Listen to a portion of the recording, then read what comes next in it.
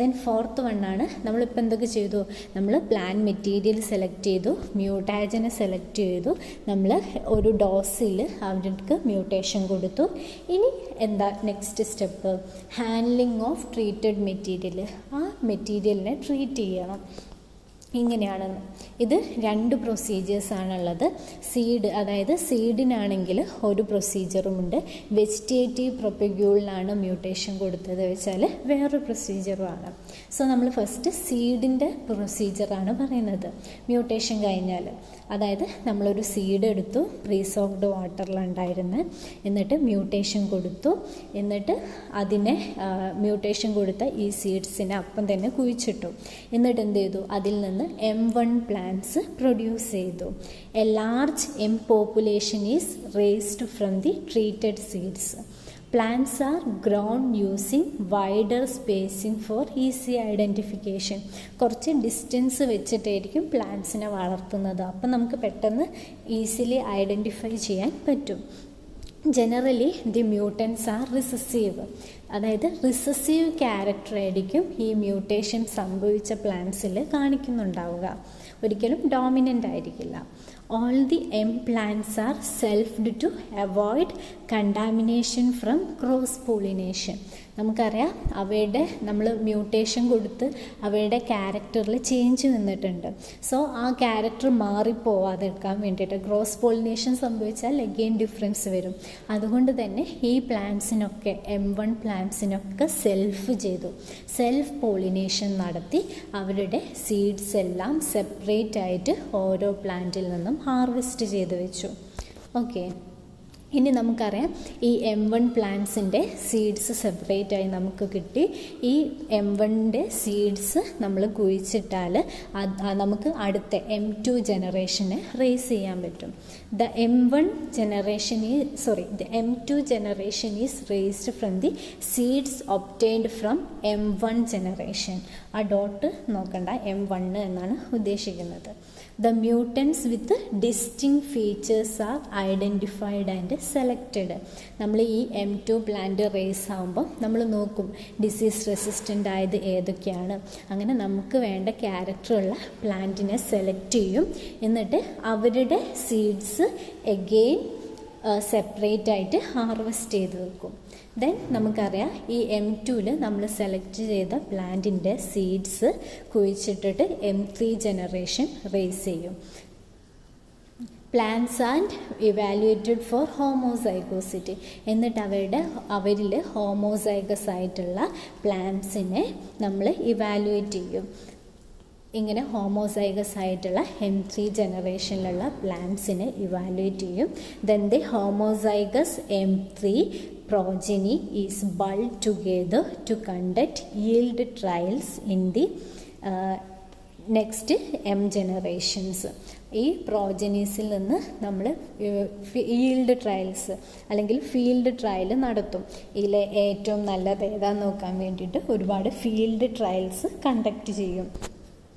So അങ്ങനെ M four ജനറേഷന് ഉണ്ടാവും. ഈ എം ഫോറിൽ നിന്ന് എഗെയിൻ റിപ്പീറ്റഡ് ആയിട്ടുള്ള ട്രയൽസ് നടക്കും. കമ്പാരിസൺ ഒക്കെ നടത്തി അങ്ങനെ സുപ്പീരിയർ ആയിട്ടുള്ള പ്ലാൻസിനെയൊക്കെ സെലക്ട് ചെയ്യും. Then M five to M nine generation ഇവരിലും selected lines are tested in coordinated multi locational trials ഞാൻ എം വൈ ടി എന്ന് പറഞ്ഞിരുന്നു. അതായത് മൾട്ടി ഇനി എം ഫൈവ് മുതൽ എം നയൻ വരെയുള്ള ജനറേഷനിലുള്ള പ്ലാൻസിനെ മൾട്ടി ലൊക്കേഷണൽ ട്രയൽസ് അല്ലെങ്കിൽ മൾട്ടി ഫീൽഡ് ട്രയൽസാണ് നടത്തുക. ഒരു രാജ്യത്ത് തന്നെ ഡിഫറെന്റ് സ്ഥലങ്ങളിൽ പോയിട്ട് ഡിഫറെന്റ് റീജിയൻസിൽ പോയിട്ട് അവരെ വളർത്തി അവരുടെ ക്യാരക്ടേഴ്സിനെ കമ്പയർ ചെയ്യും. എന്നിട്ട് അതിന്റെ ബെസ്റ്റ് ആയിട്ടുള്ളതിനെ സെലക്ട് ചെയ്യും.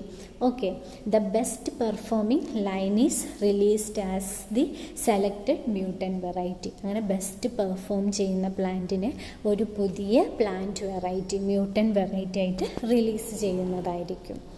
ഇത്രയുമാണ് സീഡ് പ്രൊപ്പഗേറ്റ് ചെയ്യുന്ന പ്ലാന്റിനെ റേസ് ചെയ്യുന്നത് ഇങ്ങനെയാണ്.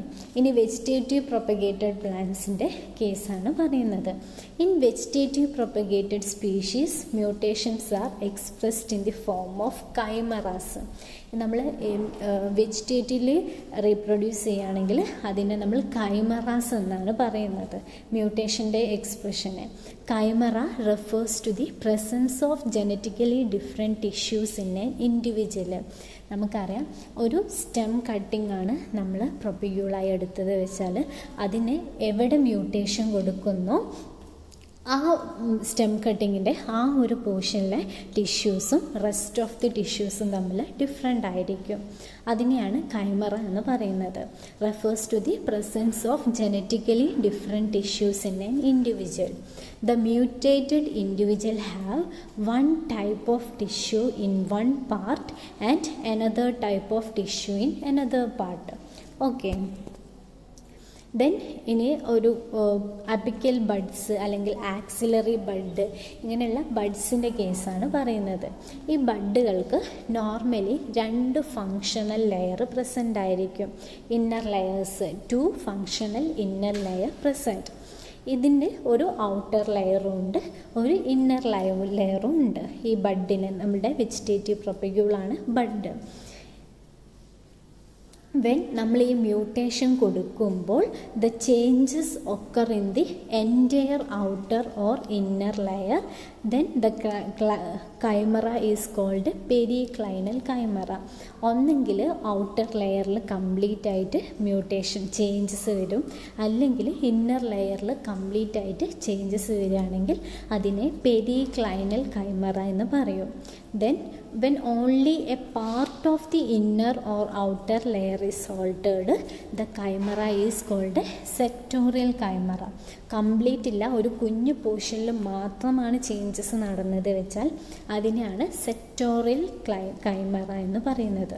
The plant part with completely mutated outer and inner layer is called solid mutant or homozygous mutant അതായത് ഈ ഇന്നർ ലെയറും ഔട്ടർ ലെയറും കംപ്ലീറ്റ് ആയിട്ട് മ്യൂട്ടേഷൻ സംഭവിച്ചു. അതായത് ചേഞ്ചസ് സംഭവിച്ചെങ്കിൽ അതിനെയാണ് സോളിഡ് മ്യൂട്ടന്റ് അല്ലെങ്കിൽ ഹോമോസൈഗസ് മ്യൂട്ടന്റ് എന്ന് പറയുന്നത്.